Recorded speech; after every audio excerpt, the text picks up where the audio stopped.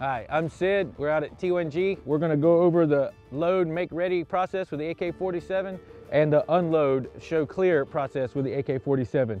So to get the AK-47 loaded up, what we're gonna do first is we're going to have to move the safety selector switch here into a fire position. The AK-47 is not like the M4 uh, where we can load it with the safety or with the weapon on safe.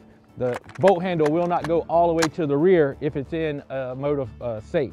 So what we're gonna do is we're going to get a full sight picture first with the gun, bring it into our workspace, move the safety selector switch into a mode of fire. I'm gonna bring it into my workspace, grab a fresh magazine, I'm gonna index it into the gun. Now, unlike your M4, the AK-47, the magazine does not go straight in. We have to come in at, an, at a forward angle. So I'm gonna go from the front to the back of the magazine using my push-pull grip to make sure that it's seated and from here to charge it, I can either come under the receiver and charge it this way, or I can come over the top strap and charge it this way. So whatever method you prefer. From there, I bring it back down, put the weapon back on safe, and I'm ready to fire.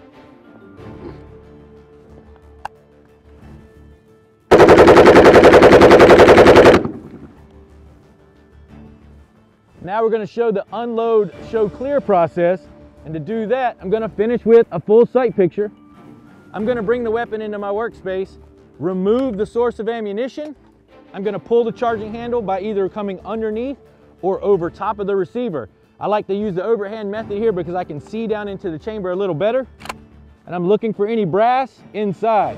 Once I've ensured that the chamber is clear, I'm gonna send the bolt home on an empty chamber, down in my workspace, put it back on safe. Hope you liked the video. If you have any questions or comments, leave them in the comment section below and we'll get back to you.